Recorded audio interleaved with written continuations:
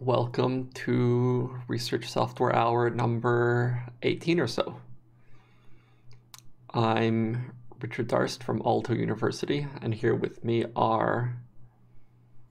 Um, I'm Anne from the University of Oslo in Norway. And Radovan from Tromsø. So nice to see you all. Nice to be back after a break. And outside is a snow snowplow here, so it will be loud. I will just use it quick. Okay. So, this is our. We're starting 2021 now. And um, we sort of master planned what we're going to talk about. So, we have a list of different topics, which is on our website. And we'll sort of go through and explain sort of all the different aspects which a researcher may need to know to be productive. Not all of them are necessary for everyone, of course, but everyone can probably learn something from every episode. So, who are we here for? So, Radovan, who do you think that we're presenting for? It will be maybe really loud now, but I will try. Um, can you hear the plow from outside? Is it bad? It's not too bad. A little bit, that's okay. All right. Uh, who are we here for? We are here for students, researchers, scientists, staff, people like us. Um, So people who write research code or want to write research code, or people who are using research code, or people who are who are using computing resources or data storage resources and I think persons who want to learn from others. Yeah. So, Anne, how would you update that for your? It's a bit tough to update. it was quite comprehensive. I mean, the only thing I, w- I would add is uh, it's really for everyone. So don't be scared hmm by uh, uh, like the maybe the vocabulary we will be using. Is uh, it's really for everyone. So if there is anything you don't understand, just uh, ask in the HackMD. Yeah. Yeah. That's a great, uh, great summary there for everybody, and that we all want to learn. We don't know everything. Actually, we don't know Yeah. most things. Mhm. We are also spectacularly unprepared, almost always. Yeah. So it's completely fine. Yeah. And as for me, I think that this is for people that use computers to do their work, but are scientists, but not really software developers. So if you're a professional developer, this is probably like basic your daily life and too basic for you. But if you're a scientist, there's many things that you need to know about software and data management, which you may not have learned anywhere. And we're here to give you the sort of practical story and not the theoretical story. And I can also add that what what, what we do here, we we re- record it and we put it then also on YouTube. So on the website, you can then also see all the past editions. Mm-hmm. Yes. And I think we will also soon look at the website because we have a program for like this year we want it to be a bit more organized. So we have a we have a plan for next weeks until summer. yeah. So we are unprepared, but we have a plan. Yeah. so maybe who would like to share the program? I guess I can open it. Yes, I put the link in the the link is in the HackMD. And if also maybe we should repeat where the HackMD can be found, huh? If Oh, yes. somebody's watching. Yeah, so the way this works, we want to interact with anyone who may be watching us live. So instead of the chat, we have this shared document, which you can find in the channel description. Or I will also put it in the Twitch chat. And if you scroll to the very bottom, there's a question section. Write your question there, and then we will see it and can respond either on stream or someone can respond via chat there. But for now, here is our plan.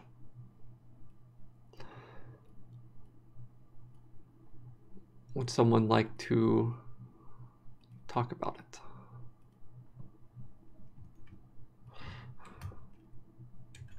It's very loud here right now. Okay, so today we're talking about the sort of, we're giving a big summary picture over all of the different facets which are relevant to a scientist working on coder data.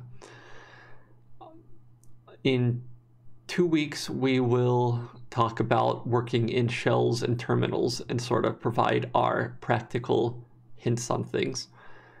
On March 4th, which is two weeks after that, we'll talk about data and then go on and basically try to take one of these topics each week or every two weeks and see how it goes. Of course, changes can always happen. Yeah, and suggestions welcome. And so we we, we thought about switching to a rhythm where we stream every two weeks, but maybe we will do something in, also in the off week. And I think a couple of really fun uh, topics planned. Uh, so one where we want to talk about our favorite Python libraries. Later also our favorite R libraries. Would be really mm-hmm. fun if somebody who's using R can show us. Yeah.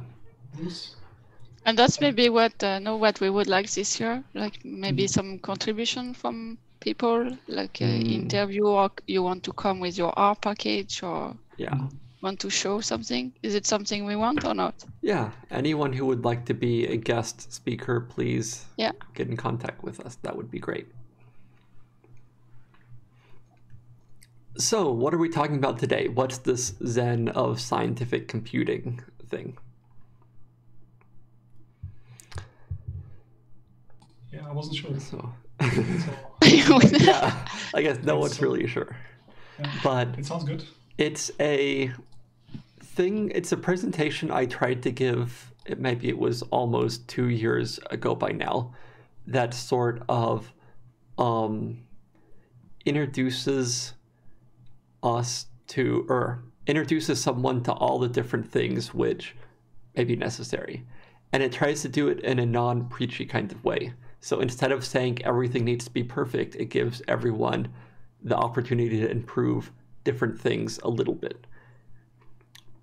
Which I think is something that's really missing. You can find many things that say this is the right way to do things, but no one has the mental energy to do everything right. And no one needs to do everything right for every project. I mean, we all started doing stuff wrong and slowly improved, so why can't everyone else as well? So that's sort of the idea here. We'll talk about different things and then give you a ladder to improve them in your work and some resources for where you may start. This can be useful to you if you are an experienced researcher and you need to improve stuff a little bit more. It can be useful to you if you're just starting and want to know what lies ahead of you.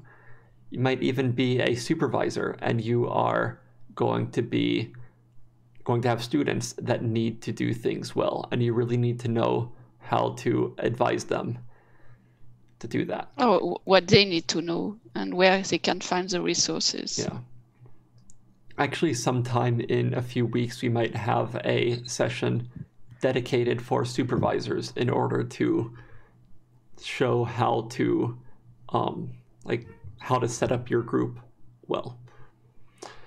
Anyway, sounds good. Yeah. Oh, sorry, I didn't want to interrupt, but I also put a link to the to a paper at the uh, bottom of the mm. comment section. Uh, the good enough practices in scientific computing. It's a great paper, and oh, I yes. especially like the title. I really like that it's not mm-hmm. the best practices. Yeah. yes. Good enough practices. Did you know that they had a previous paper that was called Best Practices or something like that? Yes. yes. Yeah. And then they came back and said, okay, maybe we can do something a bit more practical. So, good story. So, should we get started? Zen of computing, yes. Show us uh, what it is about. Here's my screen again. And this link is going to be in the HackMD and Twitch. Um, let's see. So, um, yeah, So I think uh, there is a wrong link pasted to Twitch. Oops, that is not supposed to be there. Uh, yeah. Well, I can't do anything about that. There we go. Mm. So, yes. Okay. So, what's Zen of scientific computing? So, I guess you can read the intro here as well as I can. But I think I've seen many people who are doing research that uses programming and they feel like everything is very fragile and just might fall down at any time. Um, so. And it never happened to you, no? oh, it's happened before. Yeah. Luckily, not for a while, but um, every so often I get to some projects and I realize that I haven't laid a good foundation here and things don't really work. Okay, Um, so you are talking about foundation. Uh, so this is uh, the key part, or Yeah. Well, I guess I might sort of say so. Like, there's the things that we're doing are the foundation in order to do your science using your code. Can I ask, is it getting is it getting better? So is the is is the code that we are writing getting more robust or less Hmm. or less Huh. robust? That's a good question. how do you define robust? Yeah. I mean, I I'd think say, we will find out. Hmm. yeah. I'd say overall, I'm slowly getting better. Partly it's old projects go away and new ones come in that are set up better, but anyway. But are projects really going away? Because the yes, that's come what I back. wanted. Well- That's good. I mean, small things go away, big things stay. And that's sort of the whole problem here, isn't it? So, actually, before the show, we were discussing this production code versus research code thing and had some Disagreement. disagreements. so, I had written here before that production code is something where you sort of know what the target is, and the code is actually the outcome of the project that keeps being maintained. But in research code, you don't know exactly what you're trying to do, and you sort of explore and continually change it, and so on. And the code is secondary, but your paper or results or something are what comes out of it. And Radovan had an interesting counterpoint here. Yeah, what I was writing on the chat is that yeah, I wasn't sure about this because the research code or as as soon as it is not testing anymore, it's kind of production. I mean we hmm if if it produces published results, this was production. That's one thing. The, the the other the other concern was that if we look at it this way, we imagine that like everything that is not research code is really super good code, very well designed, hmm and they knew exactly what they wanted, and it's really working and robust and tested and documented. And I'm not so sure about it. Yeah. But because here you put like production was like more professional software Mhm. development in a company, Mhm. like professional software development. Yeah. Because when I read it, I didn't see it this way. I was thinking about like a researcher Yeah. Uh, starting think- with a, like a research because you explore the algorithm Yeah. and then you go and run your production Mhm. code. So Yeah. it's good that you clarify what you mean when you write. Yeah. So I sort of agreed with, or I thought Radovan's point was really interesting Yeah. here. Like, you know, research code can become something important that needs to run later. So I think that maybe I got the terminology here wrong. Like, research code isn't really a good term because it's not code for research, but like testing code or code that's being testing something and you don't know um what the long-term plan is. okay, so, So- then I also misunderstood. Okay, Yeah. so then we agree. yeah. That's So, also like- clear. Yes. Yeah. So like say test code might be my analysis scripts which run some other stuff and then eventually goes go away. But I can also have code for research which is going to be used five years from now and has to be very well maintained so it can evolve. So how do we make it? Uh, sh- shall we make it research code or production code? Yeah. How where do we start? I mean, that's the problem, isn't it? Like stuff can start as testing code and then Yeah. you realize it becomes important and then suddenly a bunch of people are using it, but you have no idea what it does anymore. And that's sort of bad. So that's why we need to have like good uh, methods from the beginning. no? hmm Well, or as I Most would say, appropriate to the Good enough. like good enough and appropriate to the task. So, um, and something where you can improve it later if you need to. So maybe I might even classify these production code as something that has to be maintained for the future, and then test code is something you write and eventually you stop modifying it, and that is the end of it. So, anyway. Um, and then there was this research code pyramid. So I was really trying to think of someone like, we can't tell people that everything has to be perfect. That just doesn't work. So instead, you have a bunch of daily stuff, which is what you're working on. And that might be a little bit hackish, not really well put together. But that has to build on something which is a little bit better. So it builds on some of your same code, which has been used and reused and is tested a little bit more. And that gets built on things that other people have done. Like if you're using Python, you might be using NumPy, Pandas, SciPy, all these kinds of things, which have to really be um, tested well and rigorously maintained. And they can't really afford to do things that are going to break them in the future. And then on top of that, you're building on things like your operating system, like Linux or Python or things like that. And you don't need to use all of the tools that Python, like the people developing Python or Linux use when you're making your analysis script to see if a project is worth continuing anymore. And if we tell people to do that, it's just not going to work. So the other options are down here. So if you don't put enough work, then you have some daily stuff, which is built on your hacks from a month ago, which is built on more of your hacks from a year ago, which is built on top of your operating system. And that's just unstable and is probably going to fall down pretty easily.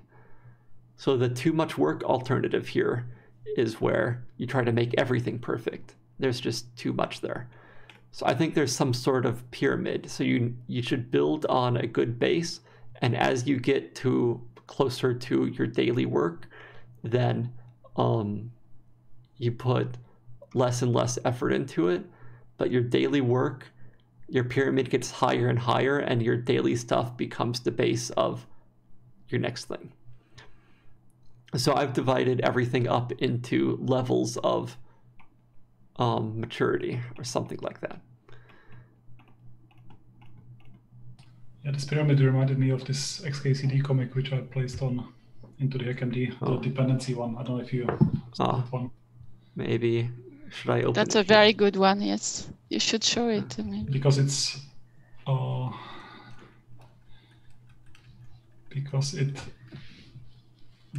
so it's it talks about this some random person in Nebraska thanklessly maintaining since 2003 so that person may not even know that some other stuff depends on it Mm, mhm. and that to me that is really That's a very good one. uh, Yeah. Yeah. research code Yes. Yes. yeah, That's research infrastructure. yeah. and it's really scary to think of these kinds of things. I mean, have you ever published a paper and said, "Oh, I hope that no one gets too interested in this because they might actually try it, and who knows if it will work." That sure doesn't I feel hear it very good. often, unfortunately. Yeah. but Okay. let's try to be slightly better. We'll try to s- Yeah. slightly to improve step by step. Yeah. so like stealth code like under the radar hopefully it doesn't show up Mhm. So, what aspects can we improve? So, this is the real important part of this event. So first we have version control.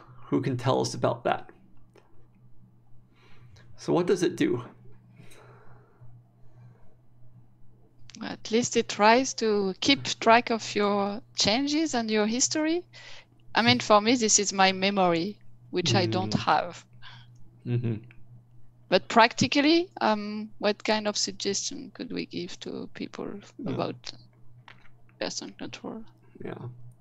So I mean, to really invest time in it because I think it's worth it. mm, Like, Yes. I, I just I thought just before this stream that have I ever regretted tracking something under version control? I don't think I ever regretted doing Yeah. that. The other way around, yes. Uh, Mm. sometimes you say, "Ah, yeah, I don't need a version control for this," yeah. and you you regret Usually it. regret that. And also, you, when you said that uh, your memory, is the same thing for me. Also, I have terrible memory, and Mm, I've been already looking at code, hmm which I didn't recognize. I didn't recognize the code, but the version code control was telling me. I mean, the evidence was pointing at that I had. This is you, yeah. yeah, I had the same thing. Sometimes I even criticize the code. Oh, this is really poor code. And then it says, Yeah. um, oh, yeah, okay. Yeah. Like to I me, what is uh, oh sorry. go ahead. Like to me, the classic problem solved by version control is whenever you have some code and then you make a change and you make another change and suddenly everything's broken and you have no idea what you did. And you can't go back. And you end up spending several days trying to debug it and undo all the problems you've caused. And there's just no reason for anyone to be in this situation. So you have to always track what happens in the past. And there's really no excuse to not do anything So it saves a lot of time. That's uh, maybe what you can say in short, no? yeah And I wanted to add that because it says that it's essential for any type of collaboration. That is true, but it's also, I think, really essential for single person right Yes, or, or projects also. So even if it's if I will never show this to anybody and never collaborate, still it will save me time. Yeah. Yeah.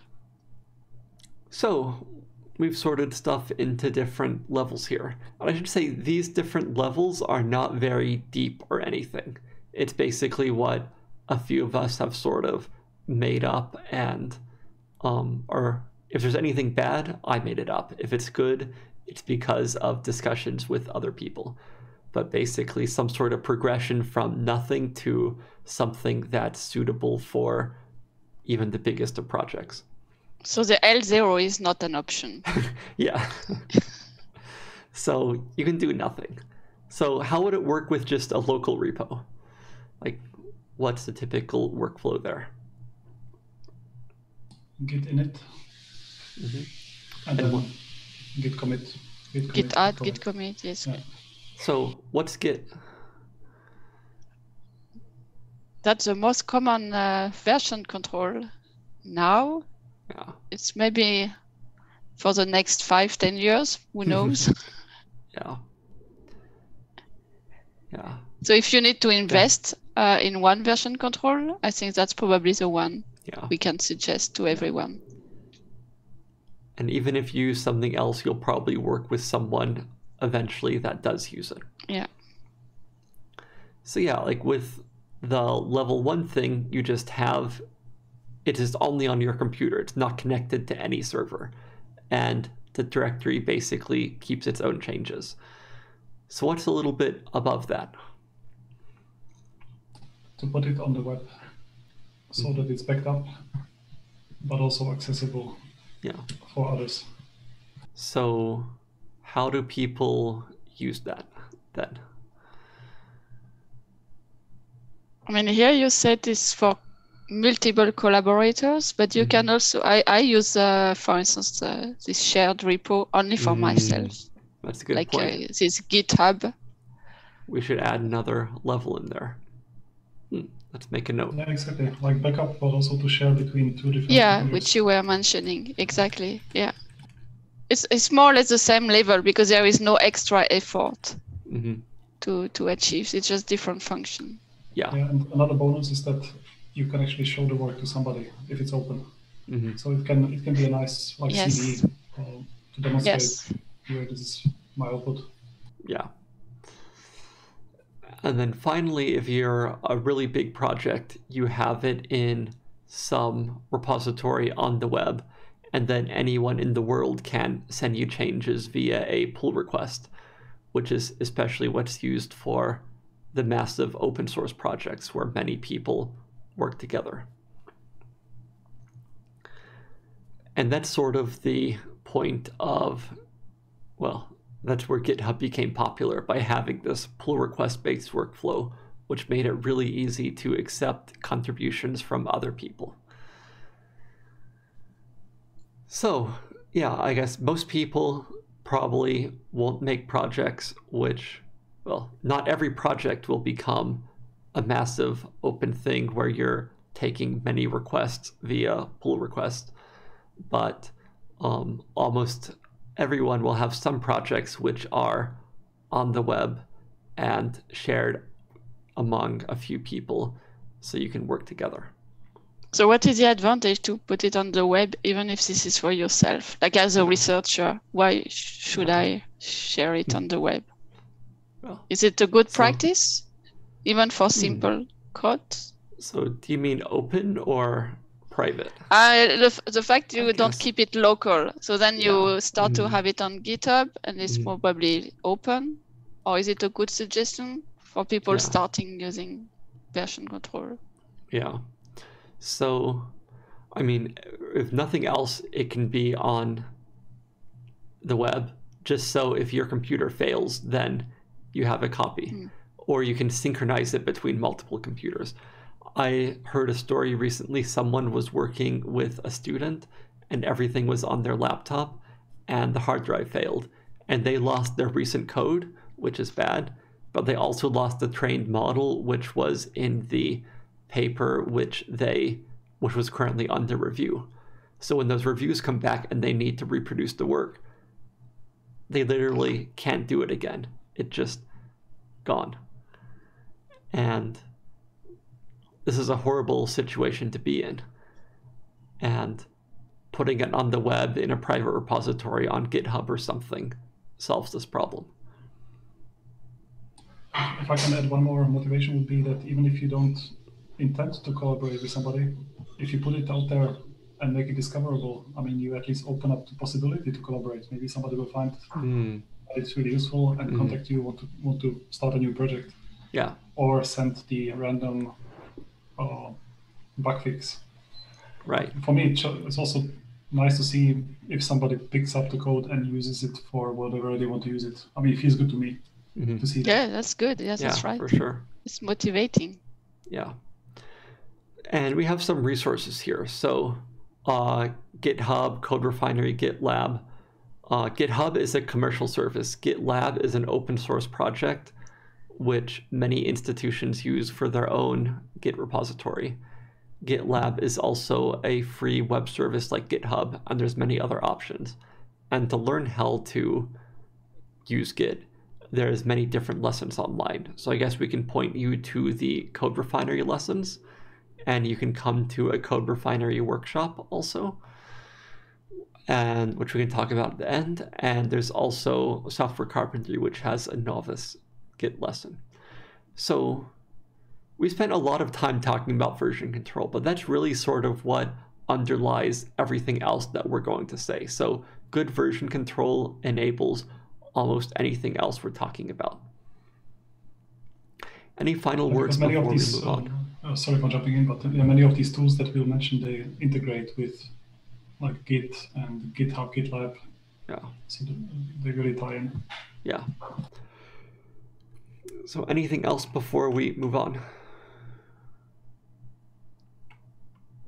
We could check talk whether we have any about uh, a lot of things, but Yeah. uh, I, s- I think I we, guess we should go on. yeah. Yeah. So next up comes modular code. So how to keep our code um, easily reusable. So if everything is one giant mess that's put together, then it's really hard to take out a useful piece and use it somewhere else. But modularity is sort of the key to making things reusable. So there's the different levels here. So you might start off with just a bunch of copy paste scripts, which um, like none of them refer to any of the other ones. And when you need to reuse something, you make a copy in the new place. And that's usually how most of my projects start. So it's something. That's prototyping. Yeah. I, I do that. I do that too. I, Yeah. I copy paste on the web. I try it out. yeah. I copy again. hmm Yeah, exactly. Then you remember that. Oh, oh yeah, I worked on. it. I have something already like that. yeah, exactly. By the way, it was. Oh yeah, it was there, and then you copy paste out of some other project. Yeah. Yes. And then after you do this copying and pasting enough, eventually the you realize what the patterns are. And you can copy it once and put it somewhere into some sort of library or module which can be imported into the other things. So when you need to improve something, you improve it in one place instead of many different places. And the module by itself No, oh, sorry. Yeah. And the module by itself is sort of useful, but not the end here. So then when you go further, you can get to these modules and make them well maintained libraries. For example, like NumPy. NumPy probably started off as a few functions someone was making, and then they kept um, giving it more structure until it became something which almost all other scientific Python packages become based on. And it's not like they go straight to NumPy. So there was numeric before that. There was something called numarray before that. And over time, they've slowly adapted these and put them together and eventually got something which is maintainable indefinitely into the future. But in the, I mean, modular code, uh, do we talk uh, also about like the style or the way you write your function, or is it only this division between Mm. function, no function? Hmm. Yeah, so somehow it, it also has to be about how you write the functions too. Like you can write a function where it's not easily reusable or it is reusable. And that's something I really don't know how to explain or teach this very well. Does anyone have any ideas here? Or Radovan uh, has very good examples normally when we do this modular code. but it's maybe a bit too long, but Yes. So like I mentioned that I think functions that are reusable are time independent. Hmm. So they behave the same today, tomorrow, and in two weeks. Mhm. So they, and dependent they- on the of the context, no? Yes, Uh, yeah, exactly. That is really good. Depend independent of the context.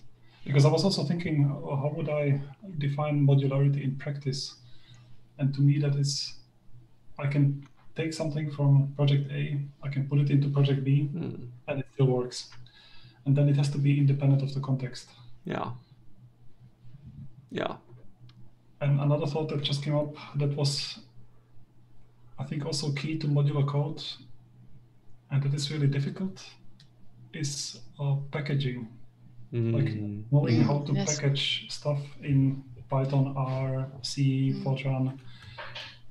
Um, and like these libraries or even beyond libraries, yeah, how, how it Mm. works, like Conda, and uh, like distribution of your also. Yeah.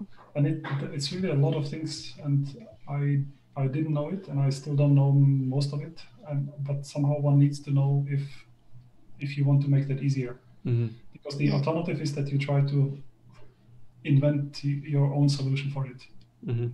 which I don't recommend, but I tried it. Yeah. Okay, and in CodeRefinery, we have a modular code development lesson, which is written by Radovan, and the latest iteration is actually quite good, but it's something that you have to see in order to. You have Um, to see him live. You have to see it live. Um, Yeah, but uh, I mean, many people have contributed to this. yeah. And actually, okay, I think it's- this link goes to the old version and not the current version. Okay, not should sure. we continue? Yeah. To organized workspaces. So I wonder what I really meant here. I think it's basically organize your directories well so that you can find things in the future. So um, a bad example is when all your files are just directly in the directory and you have version 1, version 2, version 3, and so on. So a little bit better is you start separating out the different kinds of data. So you have a code directory, you have the original directory, you have the manuscripts directory, you have the scratch and outputs and results and so on, which means that these can all be managed separately so that it's easy to clean up the scratch without deleting the other stuff. Or it's easy to take the code and send it to someone else without mixing in data that might be confidential or not. Yeah, Can you like to separate the source and the object or things like that. If you have compiled codes and so, is it within one project or when you have several projects or both? Mm. Well, yeah, so then here I wrote the top level is separating the different projects together. So, Mhm. for example, the extreme case might be you have one project which is just about the code, and one project which has the data and the analysis scripts for that thing. And then you're breaking these up so they're logical to organize. And I don't have any real good sources for high level organization systems. So I guess what I've started doing, I have one, every project has to get a name. And then this name has to be unique and clear. And then there's one directory for the project. And I don't make them recursive. So I don't put projects inside of other projects. So I can always find the things. So, project all the projects at the same level. hmm Yeah. Yeah. Sounds good. So the thing that I'm struggling with is that there are really many good systems, hmm and even if you decide on a really perfect system, it doesn't really matter because oh, we we often collaborate with others. Mhm. And I They use different every- system. Yeah. and every project prefers a different perfect system. Yeah. Yeah. Now I can't organize it my way. I have to. And, and okay, I'm working on too many projects, but uh, yeah. yeah. But I, I So how with do you do that? You adapt because I, I tend not to. At the beginning, I was very picky and I wanted Mm. things to be like this, and Mhm. and then now I say okay, whatever. Yeah. I mean, There are What a few things do? I, I I really p- still picky, like the documentation. I want to have it Mm. with a source mhm. uh, folder. Yeah. but uh, otherwise, I'm I'm becoming quite flexible. So maybe I Yeah. should read it again and uh, go back to more yeah. structured. I mean, I think there's really nothing to do other than try to help every project get a little bit better. And did we mention the lottery factor? No, can you say that? So uh, the project should be organized in a way that if one person wins the lottery and and quits job tomorrow, that it's still understandable to everybody else in the project and that it can still continue. hmm So that there is a common understanding of where things are and that Yeah. it can still be found. And this is exactly how we work in academia. Yeah. I guess that's probably a big part of why academic code is so hard to keep maintained because people do keep leaving all the time. And what do you do? That's just life. So, should we go on? So, workflow automation. So, what would this mean? So sometimes I see people with a huge amount of data, and whenever they need to run something, they type the commands to run it each time.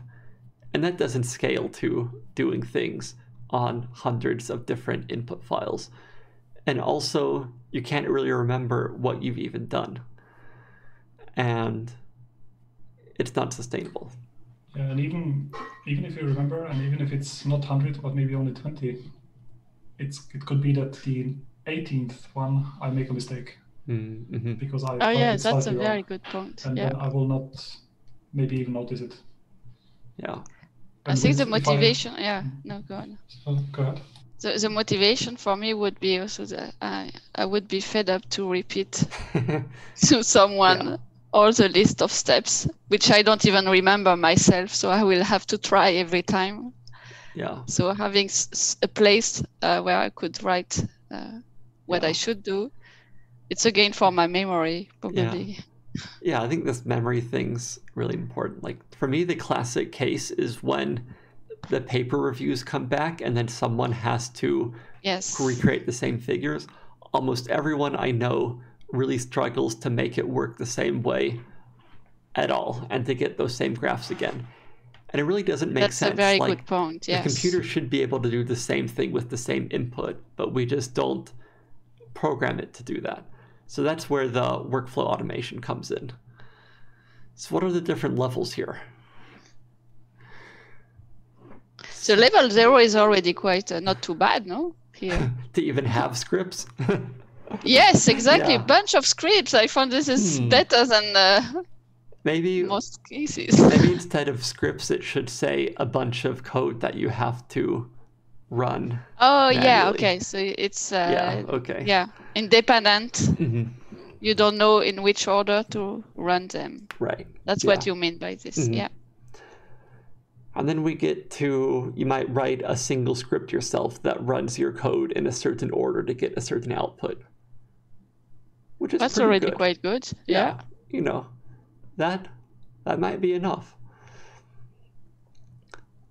And then above that there's things like complete workflow management tools where you basically define every step and then you tell it I need this output and it will figure out what steps it needs to run and then get those outputs out of it. And that's basically all.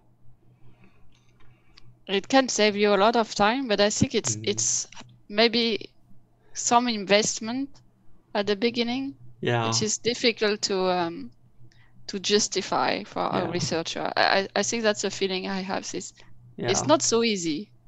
Yeah. Remember one project, I guess it was more than 10 years ago now.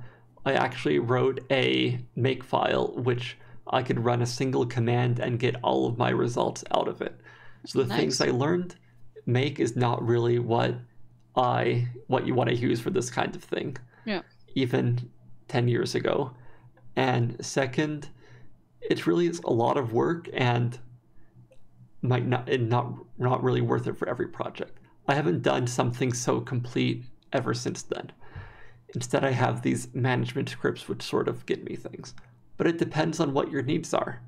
So, if you're doing, But if something- if you are using uh, like some management uh, system tools like SnakeMake, I really uh, find uh, this is very close to write a standard script. Mhm, mhm.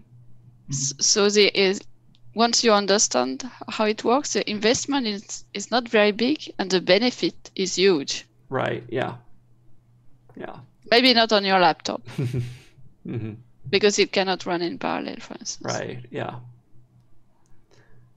Is Jupyter, like Jupyter Notebooks and R Markdown, is that also pipeline automation? Hmm. I mean, In a way, this is like a script, no? yeah. I I mean, was just trying to distill it into like a recommendation, and I think I would Yeah. recommend to make it easy to generate the figures the second time. mhm, because- mhm, The first time will never be enough. right, I yeah. think we always have to do like a little tweak or two days before the deadline. hmm hmm Yeah. And for- Yes, ne- never believe you will make your figure only once. Yeah. And for Jupyter, I've seen good things, which is like complete notebooks you can run from top to bottom and you get the same output. And I've also seen some where you can't run it top to bottom and you have to find the right cells and run them in the right order. Mm, And that's not not, good good. practice. I would, So- yeah. It's more about how you do it than what you do. And CodeRefinery has a lesson on reproducible research, which may be relevant if you are learning these things. Should we go on to reproducibility you're- you're- of the yeah. environment? Oh yeah, we have still a couple of. Oof, we have many things to come up. Yeah, we've got quite a few, but they're gonna got, get faster now, I think, and shorter. Yeah, because you So- talk about already quite a lot of reproducibility. So Yeah. now, what is the difference mm. between what you said before, Yeah. for instance, with workflows and the environment? So to me, environment is things like getting the same packages and dependencies installed, like getting NumPy, SciPy, Pandas installed, or getting the C libraries you need to compile your project and things like that. And this is something that's easy to forget. So you can easily do it once and then, well, it works so you don't go back to it. Or you can easily uh, make it basically automated. So you can go to any computer and install all of these things, and anyone else can also run your code.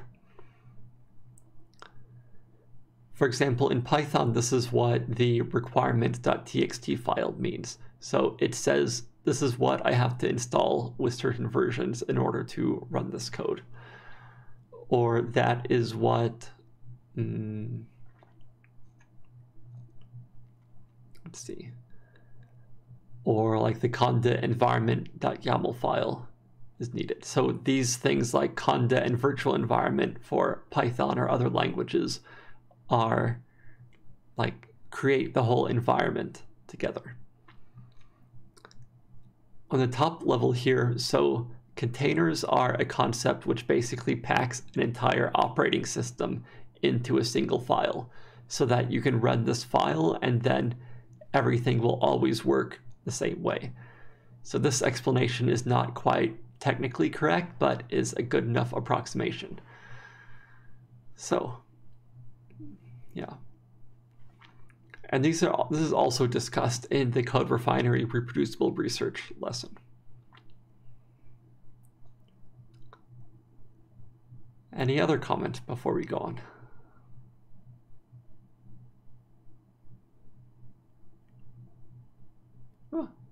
Let's go to documentation. So Anne had some opinions about documentation, so I'd like to hear those. Yeah, I said I want to have the documentation with the code in the same uh, in the same project. Mhm. So how do you do that?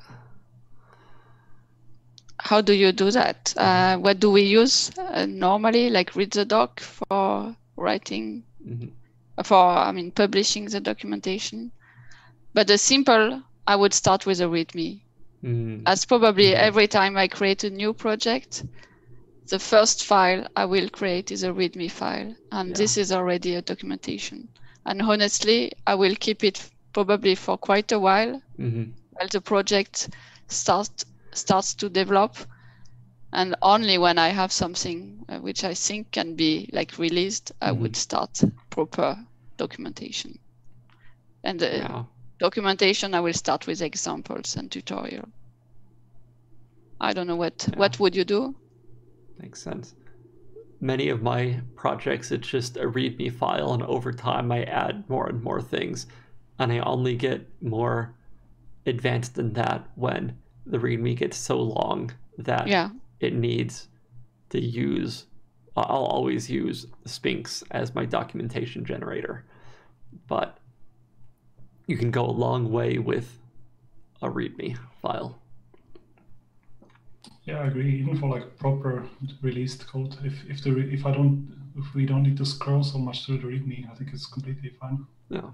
Once it becomes a bit too much to scrolling, then Yeah. So, as you might expect, CodeRefinery has a lesson on documentation, which covers a lot of these things. So, next up is testing.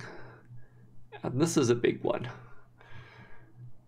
Who would like Yes. to talk about this? well, you can start. Yes, Me. why not? yeah. So, I mean, every code is tested at least once, and that's when you run it to see if it does what you expect. But the question is when you do this first test, do you ever test it again? And do you know it stays correct? So instead of just testing it by hand and then hoping it doesn't break in the future, you can add in things called unit or integration or system test or things like that, which you can run automatically. For example, PyTest is a common thing that's used for Python to do these. So you make separate test files, which are really easy. They're basically just Python source files that have functions called test underscore something in them. And then it runs it and then sees if the function gives an error and then prints out a nice report. And then that gets you started. And then once you get a bit more advanced, you can have it do this automatically. So your web repository, which is hosting it, can run these tests. And you get things like running tests every night just to make sure it's right, running tests on every single commit you do, running tests before you accept pull requests from people. Like if someone sends you a proposed change, it's hard to tell if it's correct or not, but it's easy to see if the test passed and to be confident in your test suite. And if I can add to it, because you you said at the beginning that, uh, yeah, we tested the first time, but do we ever test it again? I actually think that the developer who develops the code tests it again and again and again and again. Mm. So if I develop my own code, I look at it every day. Mm. And if it's relatively manageable, I may immediately notice when it's not working anymore. Right. Because yeah. I know what to look at and I know it mm-hmm. and I was going uh, what what is doing. But the problem is that nobody else. Mm-hmm. The problem is that if somebody else picks up the code, uh, it's mm. it's difficult for them to mm-hmm. see is this still working because it produces some numbers, but yeah, say whether they are still correct or not. So by not, so if I only know how to find out whether this is still working or not, mm-hmm. I make it really difficult for people to call to collaborate and reuse it and change it. Yeah, that's a very good point. Yes. But I think there's also things like something that still runs and it just gives a wrong answer but doesn't immediately raise an error. And as a scientist, you really need to catch these as quickly as hmm. possible. Or, for example, you're working on B this week and what you do on B breaks A, and you won't figure that out until next week. And by then, it's too late to fix it easily, and it's a lot more work anyway, so. So yeah. you write test as um, as you write the code. So every time you write something, you write a test. Yeah. I mean, uh, that's more or less what you are suggesting, but yeah. is it really true? Well, most people don't, but that's the dream, at least.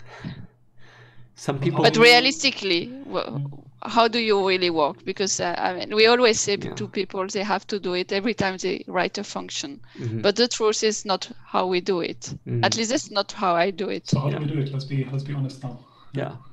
So, I, I do it from time. I mean, I, I mm. dedicate usually like one day on test, and then I, I, I write test. I, I have very hard time to like write a code and then write a test just after.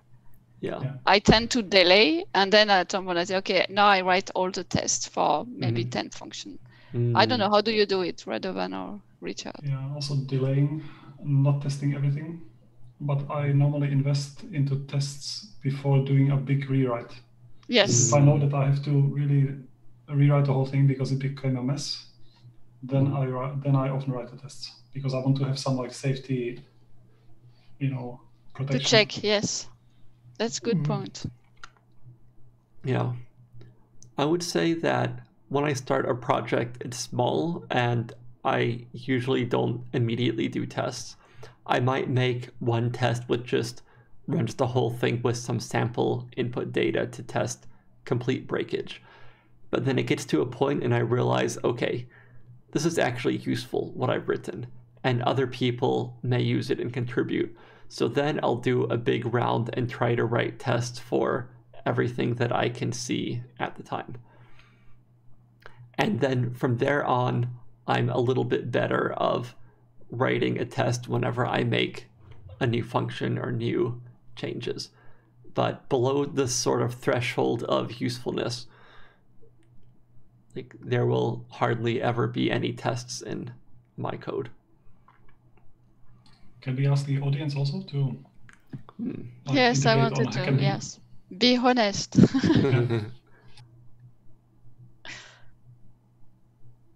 But one thing we, you didn't mention yet is like the uh, continuous integration testing, like the automation Mm, for mm, running tests, because I don't, I don't like, I tend to delay uh, the writing Yeah. of some tests, but automation is something I usually do very at the very beginning mm, mhm.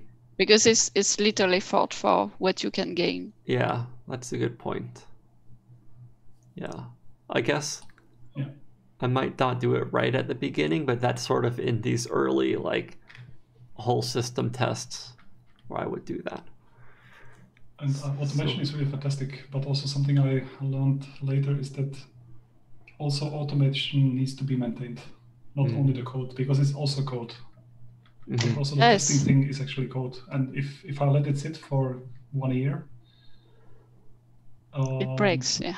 Yeah, even the testing can break itself, like just the testing code itself, because Mhm. everything is evolving. Yeah, yes, that's a good point. Yeah. So We what have- often happens is that I do, I have this some project and it gets finished and it's small and it's tested, and then I don't touch it for one year, and one year later somebody sends a tiny, tiny improvement, Uh, yeah, and it and, and then all all the testing breaks. But it's Yes. not their fault, but it's just because everything changed since, Yeah. Yes. like the dependencies and I don't know Mhm. operating system. Yes, that's right. So then you say, why do I have automatic testing? Yeah. Should you be using dependencies that are going to completely change in a year?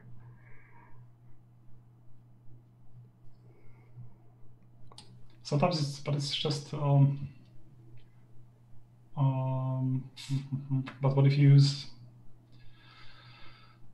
It's like uh, the GitHub Actions. If you use, I don't know, Ubuntu latest, Yeah, it's that thing. I mean, that that will in three years, Ubuntu latest will be different than today, hmm and I know that, but I still use it. Oh, yeah, yeah, yes, I exactly. Yeah. But if you don't do do it, what would you do? Maybe you would take something and it it would break because it is not available anymore, or it's. Uh, I don't know. I mean- what, what, it's probably the best uh, we can do. so. Yeah, I think so. Yeah. I mean, like, I try, like, something like NumPy, I'm somewhat sure it's not going to break in backwards compatibility, backwards incompatible ways that are going to break my code in the future. So, to me, that's a good dependency. Depending on Ubuntu latest, I'm also fairly confident with because the like Unix interface is very well defined and established and like if the people that are developing it know they can't make things too backwards incompatible. But then I also try to restrict my usage to the parts that I think are least likely to change. And like I'll put an extra effort to do that rather than take the easy way out that might break in a few years. Speaking of easy way out, so the question came in on HackMD. Yeah. Where do we place tools like MyPy? So this is this is a library to check types, hmm type annotations in Python to Yeah. make sure that types are matching up, or some things like st- static code evaluators. Where do we place that in the Hmm. Zen? If I understood the question correctly. Yeah, that's a good question. Like there could be some idea or new section on development development environments or things like that. Yeah, So- like You don't put it in modular, or Yeah, maybe. Yeah. Oh, maybe it's in modular modular. or things like that. Yeah. also formatting standard. yeah, Mm, yeah. But I think modular code development. mhm. Yeah. You can also do things like run them during the automated testing to ensure that there's no Yeah. type errors or things like that, or the code is formatted too as well. So, as expected, CodeRefinery has a lesson on automated testing. So, should we go on Yeah. to licensing? ooh, licensing. this is interesting, isn't it? So, if you want people to use your code, which you probably do if you want them to cite you, and if the code doesn't have a license, then they're probably not going to want to use it and build on it. Or they might and just not tell anyone because the license is unclear and you don't get any credit for it. So, and the you can be you. I mean, the uh, the other person can be you. Is Mhm. usually you as a Mhm. researcher because a researcher uh, you usually change affiliation very very often. Mhm. Yeah, So it can be a way to not lock yourself out of your own code Yeah. if you if it's under an open source standard license. Mhm. But no license, you say, say this is like L0. Is it an option well, to I have mean, no license? you can not um, clarify anything, and then it's basically no one can do anything because they don't know. Or even worse, you combine code from different sources. Like you go find someone's code and you take it and you start using it. And then you take someone else's code and you start using it. And neither of them have licenses. And then this great thing you've built, you can't share with anyone because you don't have a license to even use what you're building on. So what you say is we need to be careful when we take code, Mm, and we need to be careful with what, the code we write. So we need to add a license yeah. to our code, but we also need to check the Mhm. license of other codes. Yeah. A really smart colleague I had who's an intellectual property uh, lawyer at my university said this phrase license in, license out. So if you want other people to Hmm. use something you've done, you have to see what the license you're that's coming in. And I think that's really why this whole thing is so important. And as you might expect, this is in CodeRefinery Social Coding Lesson, which used to be called Software Licensing, but that was a bit of a boring title for a general topic. And I, I think I want to share one more anecdote with the licensing because I'm going through it. It's really painful. And that is so let's say you don't worry so much about licenses for many years. You take code from here and there because it's closed source Mm, and it's fine. But at some point you decide to open source it Oh yes, I you have have the problem. same problem. Yes. because now you have something in the code. It's tainted. And you you may have to actually take out Hmm. very very painfully take out code that has been added a few years ago. mm, Otherwise, you cannot open source the code. yeah, Yes, so sooner than later. yeah. Be careful. I mean, my general philosophy is if it's closed source and doesn't have a license, it doesn't exist to me. And I just don't even bother looking at it Mm. because Yeah, but we, it no means you are aware that you should not Yeah. take it. So this is something we need to, to Yeah. be careful. and unfortunately not everyone is that lucky to be able to ignore closed source things. Sometimes you really have to. So, should we go on? Yeah. Okay, distribution. So we'd sort of talked about this above a little bit, like this idea of packaging your code so that it's reusable. Like for example, have you ever done pip install something to install a Python package you need? Someone's gone through the effort to make this code um, distributed as a scientist, the very top level would be to archive this on somewhere like Zenodo and get a DOI for it. So that way you can cite it in a academic paper. And as Radovan had already said, every language has some way to do this. And most of them are not that difficult. It just takes a little bit of time to get started with. And um, something that you should look at once you get to that point. And recently, also Fortran got a package manager.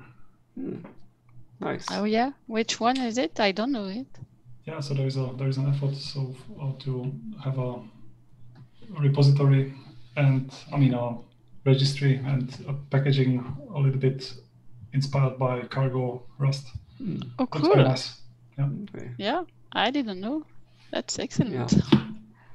And a little time check. We are already running a little Yeah. bit over time. I don't know. We should be.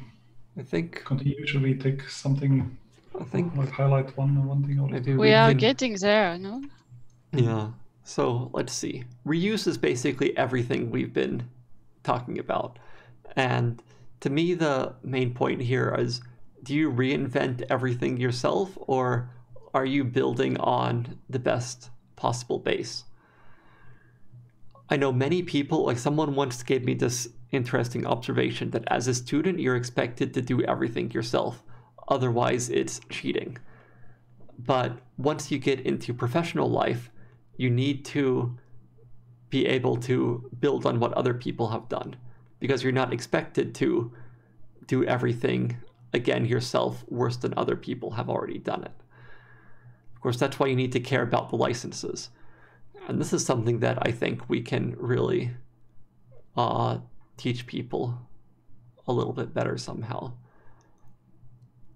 And it's sort of a difficult question like, what do you choose to reuse? How do you evaluate a project? If it I will... think what the difficulty is uh, do you get money if you reuse something?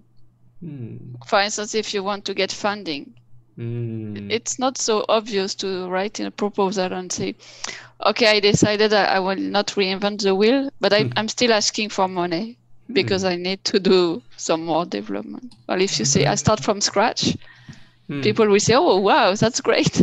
Yeah. Yeah. yeah. Funding is organized around novel things, not Yeah. about maintaining things. hmm Yeah. Interesting. So I guess we have to And find about- hmm? A way to make Right. the maintenance novel. yes, good point. okay.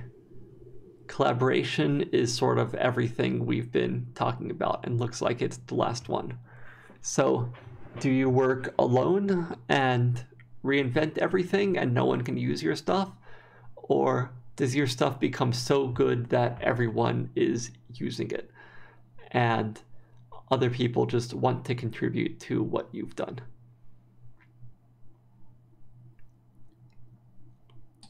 Yeah, and uh, one aspect is like quality of the I don't know code and project, but I think Richard, you said it that um, we learn a lot from watching other people do something. Mm, mhm. And if I work in isolation, I will continue using the hammer because I know it works. Yeah. It, it can be nice to see somebody else do something in a completely different way. hmm It's also about learning, not only about Yeah. But I think we shouldn't be scared to collaborate or to share and collaborate. It's, it's not only for professional and it's not because you have reached a certain level you can say, oh yeah, now it's good enough uh, Mhm. for sharing. From the beginning, it's always good enough. Yeah. Yeah, I've learned so much by taking some other project and just watching the like subscribing to their mailing list or watching the project on GitHub and watch what the other people are doing, what these experienced open source developers do, and then take and copy those ideas to my projects.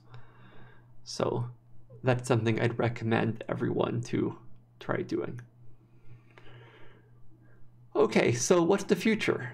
So basically, this science with computers, I think I've seen some people that really enjoy it, and it's one of the most, um, it's very rewarding for them. Or people that are just miserable with all of the problems their code is giving them, and they can never really focus on their science, or their science is always um, struggling. And if you're struggling, there's help. So that's what we're here to sort of introduce you to good practices. And we, CodeRefinery gives a lot of advice for researchers for these kinds of things. So, yeah. Any other final closing comments? So I would like to say that in so in two weeks we will talk about shell and terminals. Mhm. And I think many of us spend a lot of time in inside the terminal. Yeah. So we uh, and speaking of watching other people do something, so, uh, we want to share different tricks that we learned. We would Mhm. like to learn from the audience. Um, so please also let maybe let your friends and colleagues know Right. uh, in two weeks. Yeah. So you want to sh- to share uh, tricks on how the, how we use the terminal or uh, Yeah. commands or shortcuts? What what kind of tricks? Yeah. Well, we had this Linux shell crash course a few, or was it last Friday now? Yeah. So maybe we wouldn't reproduce the same things there, but really goes into the practical tips and tricks we use. Like, for example, someone asked me, How do I do my per directory bash history? Which I can explain some, and so on. Yeah. So this is really how you use shell Yeah. on a daily basis and how you have set it up. Yeah. yeah. And at least I can say I've got a ton of stuff in my bash RC file, which I can. Yeah, present. exactly. That's yeah. Yeah, and things like auto completion and searching through the history, remembering past commands, Mhm. editing editing a line without pressing on the left key for 30 times. yeah. Yeah, I tend to forget how to do that. So I will learn a lot of tricks next week. Yeah. No, in two weeks. yeah. So, um, we hope you have learned something from here, and we hope that we've inspired you to, well, really invest a Learn little more. bit into, yeah, invest some into your education, and to get more enjoyment out of your software work. And also, please contribute. Please contribute examples, also problems, solutions, so that we can show something. Also, questions via Yeah. I don't know Twitter, HackMD, Yeah. GitHub.